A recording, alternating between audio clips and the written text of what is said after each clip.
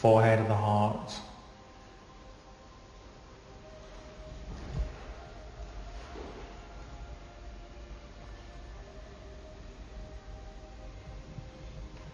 Please make contact.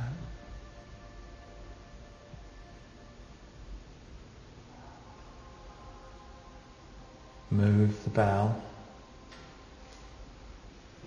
Touch one of us.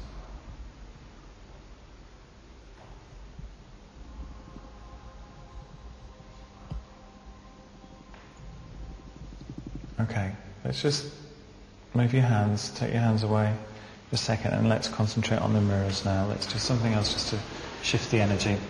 Okay, what I want you to do is first of all just wiggle your hands a bit and your feet, because we don't want you to, okay? Everybody back with us fully? Yeah? Okay. Right, just pick up the mirror. Just take it off its stand. Careful, it just comes off there. Okay, some of, oh, some have got fixed stands, don't worry, just sort that out. Trying to break the mirror there. Okay, now what I want you to do is to hold it in front of your face. You might have to lower it a little bit so you can see because you need to use the light from the candle. A, a dullish light is quite good for this. And I want you to stare into your own eyes, trying to blink as little as you possibly can, and fix that stare. Now remember, the eyes are the windows to the soul, and this is essentially what you're doing. You're contacting your own soul. What you're looking for is a change in your face. It'll give you a message. Could be yourself from a former life or an image of a guide. Look only at your eyes. Don't look anywhere else in the mirror. Concentrate solely on your eyes.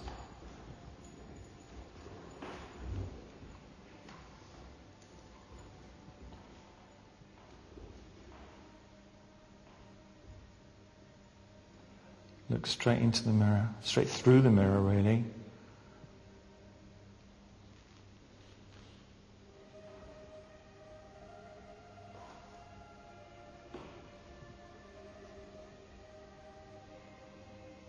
Anyone getting anything?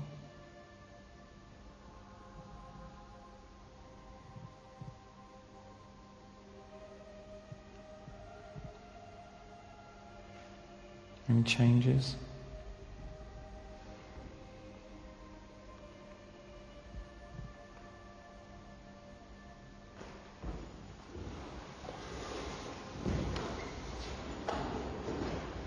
Try not to concentrate on it. Don't stare if you know, like you're looking for something. It's kind of like, you know those 3D pictures you get? Stare through it. Stare beyond it. Stare beyond the image. Sometimes this happens just for flash. Something unusual. Mm-hmm. Yeah? Just a flash. It's just like those 3D pictures, isn't it?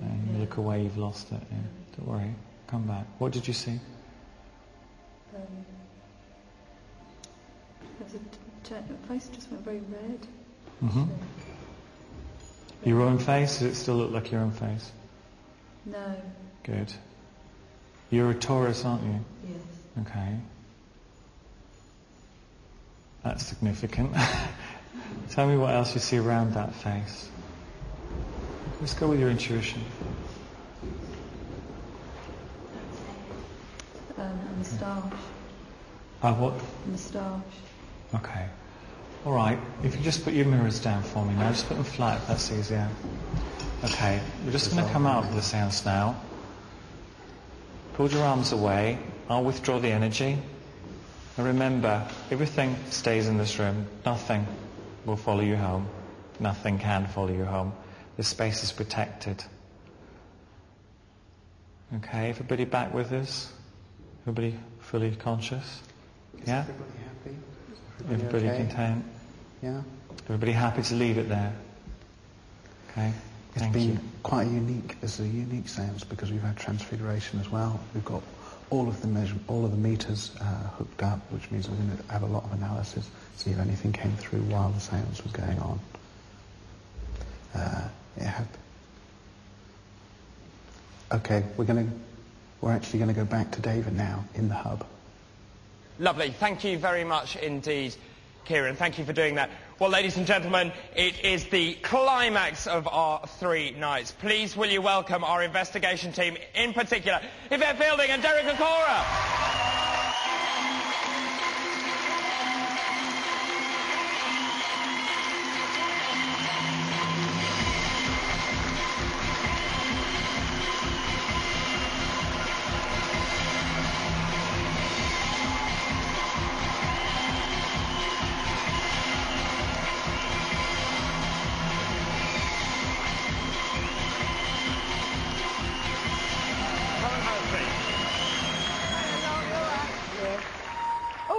It is absolutely fantastic uh, to see you back here on night three, the end of our investigation.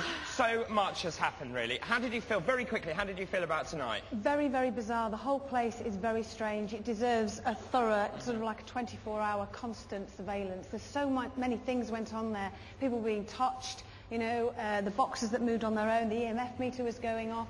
Uh, It's a really active place.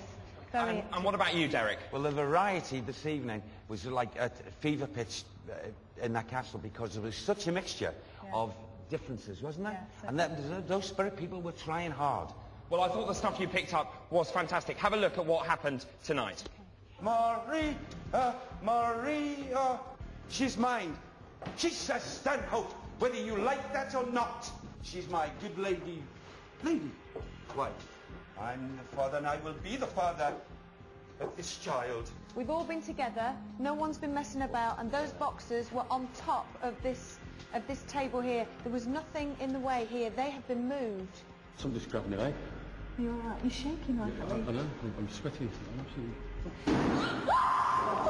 Oh, God. It's all right, Debbie, it's okay. Carl, where are you? Are you at the webcam, Carl? Carl, answer Yeah. me back now. We've just had stuff thrown down from the steps. We've just come out to make sure what was happening, then all of a sudden, and it was, it was just, it's just been slung. You're not just dropping down gently, you're just being slung down. Yeah, listen, do you hear that above again? Yeah, the, what's been thrown on the floor? We don't know. There's just stones. Where? Can you see it? There's not. Bits of plaster on the floor. Wherever It's it just was. come- Oh, oh, sorry, sorry, sorry, sorry. It's my hand. Oh, oh! wow!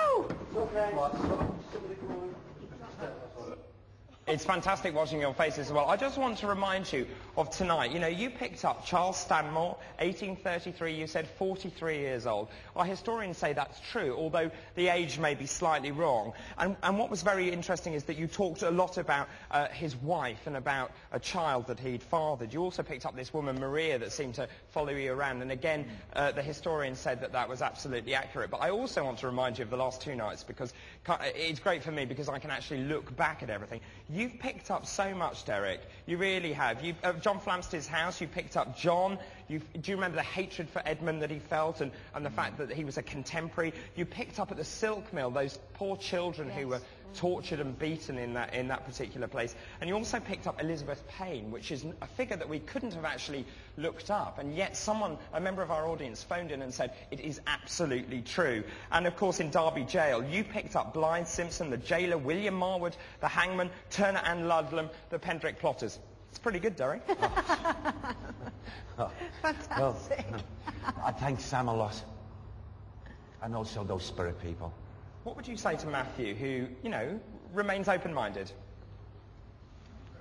Matthew? Oh, Quickly. Uh, oh, hey, oh, oh, God. Okay, I would just say, walk in the experience, enjoying the experience, and for all these spirit people wanting not to perform for us, but to show that they still exist, they still live on. Different atmosphere, different dimension, but still